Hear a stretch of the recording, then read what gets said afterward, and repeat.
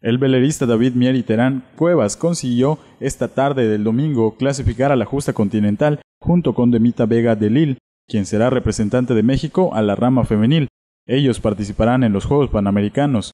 Emocionado y contento con lo logrado este fin de semana, el velerista, único yucateco en participar por sexta ocasión en los Juegos Panamericanos, visitó al director del Instituto del Deporte, Carlos San Castillo.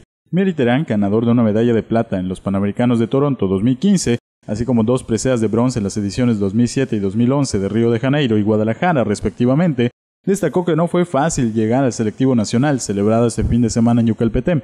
Fue un evento complicado. Al llegar al evento fue un proyecto de mucho esfuerzo, y estos últimos meses he tenido la oportunidad de entrenar con un joven como Cristóbal Hagerman, el cual me ha ayudado bastante. Hemos hecho una excelente mancuerna entre los dos y desde septiembre, cuando decidimos entrenar juntos y formar equipo para poder participar en el campeonato y ganar la eliminatoria, por lo que la idea de participar fue principalmente de él, y que yo ganemos la clasificación de representación de México. Se tenía que quedar en Yucatán, sostuvo el velerista.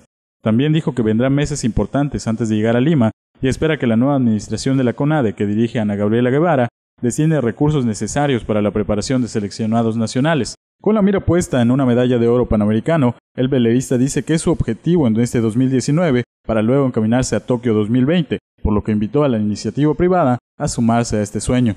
Por su parte, el titular del IDEI, Carlos Sáenz Castillo, reiteró todo el apoyo del gobierno del Estado a través del Instituto de Deporte para continuar con el sueño olímpico. Notivisión.